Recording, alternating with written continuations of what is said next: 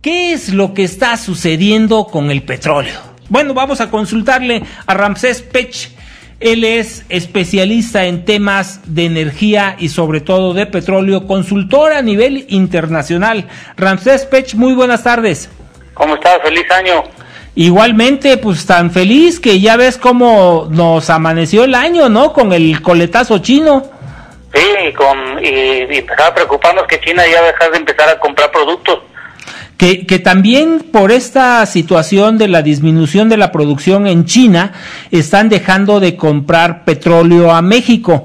Y si a eso le sumamos lo que está sucediendo en Medio Oriente, donde ya los países productores de petróleo que habían sido bombardeados por Estados Unidos e intervenidos para que no pudieran producir petróleo, a partir de estos próximos meses se van a incorporar con su producción de varios millones de barriles más.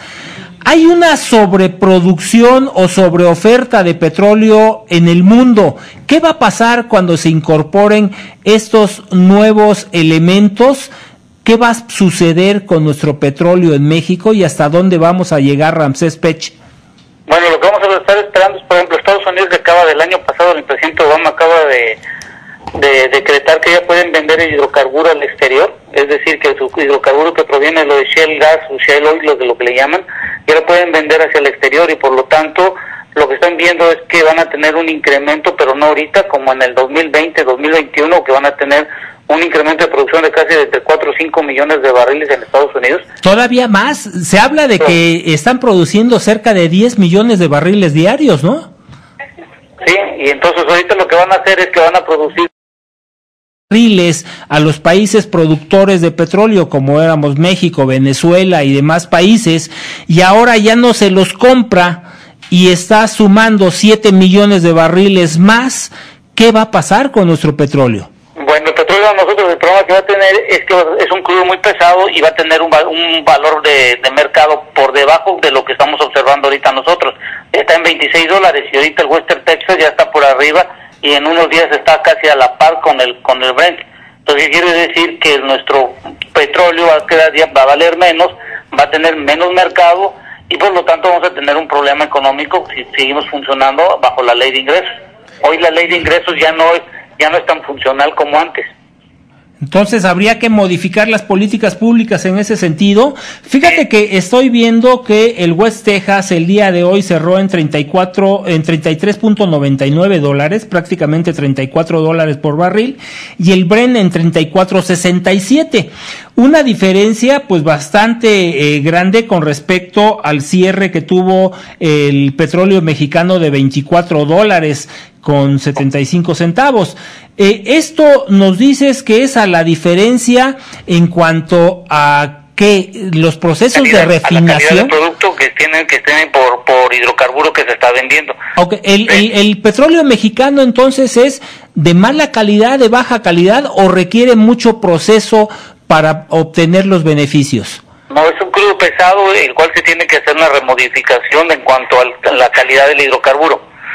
Ejemplo, ahorita lo que estamos viendo que Estados Unidos su moneda, sea la paridad contra el euro se ha disminuido y esto está dando que Estados Unidos tenga una, una deficiencia económica grande y por lo tanto eso es lo que le va a ayudar a que el petróleo ya no sea lo que influya a nivel mundial, sino que va a influir a nivel mundial va a ser la parte de cuánto es el poder adquisitivo que tiene en el consumo interno. Acuérdate que Estados Unidos y China ahorita van a basar el crecimiento en cuanto a su consumo interno.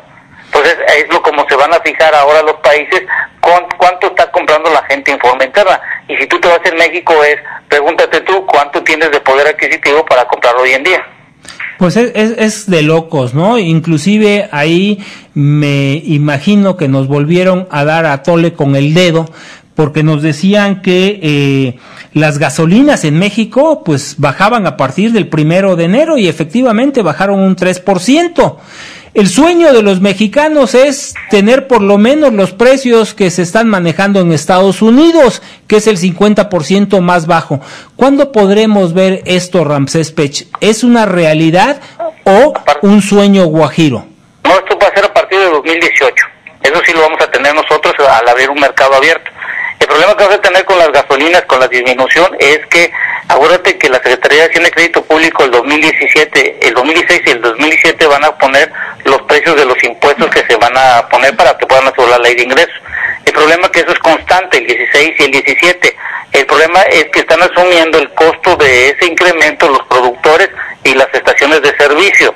Ellos son los que tienen el problema en el 2016 y en el 2017. Que ese es el problema que van a tener principalmente. Si el precio del hidrocarburo está por debajo de lo que estamos viendo ahorita para el 2018, entonces el que va a tener el problema va a ser el productor porque la materia es prima barata y por lo tanto sus costos de producción no tienen que estar tan elevados. Bueno, bastante que analizar con respecto a estos temas. Ramsés Pech, por último, ¿cuáles van a ser las áreas de oportunidad que vamos a tener como mexicanos y como país en cuanto a los productos? ¿Qué nuevos productos podremos tener? Mira, por ahí estamos terminando un estudio y me llama la atención que, por ejemplo, en Estados Unidos tiene más desde el 2006 eh, tratando de meter una normatividad de combustibles libres.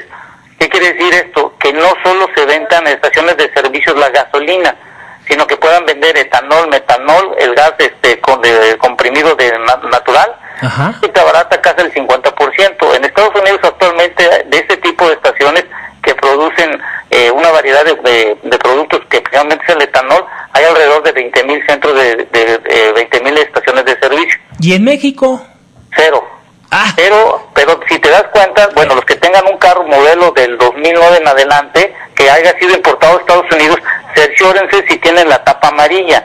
Si tienen la tapa amarilla, quiere decir que tu auto es fuel eh, flexi, eh, flexi fuel.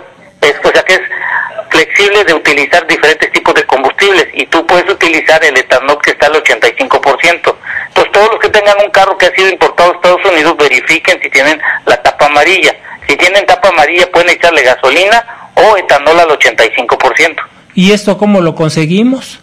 Eso lo puedes ver cuando abras el carro, a ver tu tapa amarilla y ahí vas a ver que dice E85 en donde tú puedes cargar el etanol a ese carro que tú adquiriste.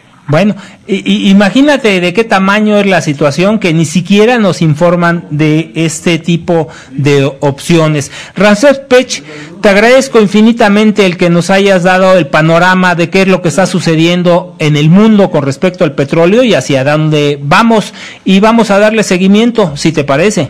Sí, está bien y bueno, nos seguimos hablando en el 2016 y gracias por las oportunidades.